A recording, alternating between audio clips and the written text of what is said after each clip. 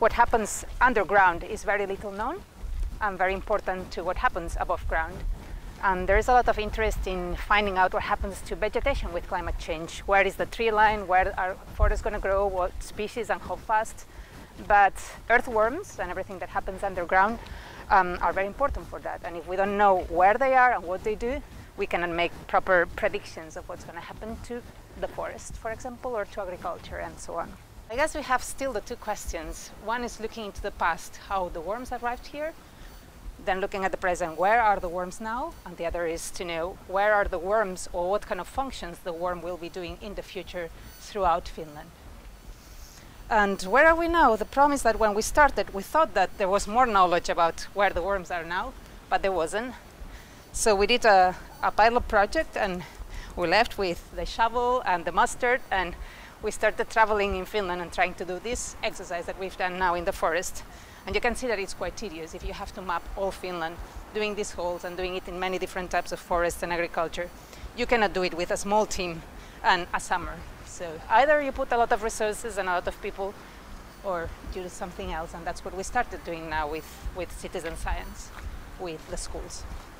Basically the idea was to contact, to uh, contact citizens to collect data for us.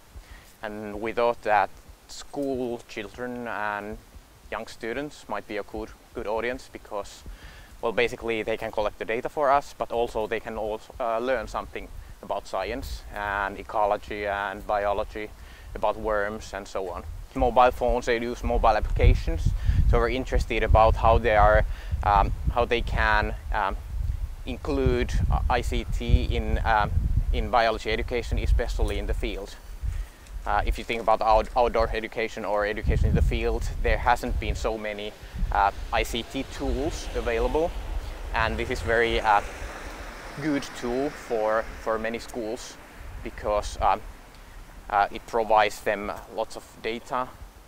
Uh, they, they can interact with the mobile application, they can get the location data and so on.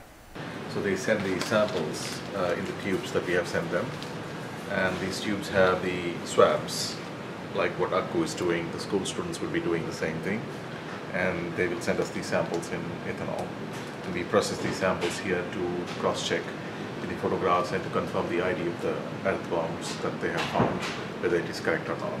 The students were really excited to do this. I mean, we were a bit concerned whether students would be you know how it's it, we thought it wouldn't be easy for them to get them to hand these uh, you know handle these worms. But they they the students and teachers were really excited about this project.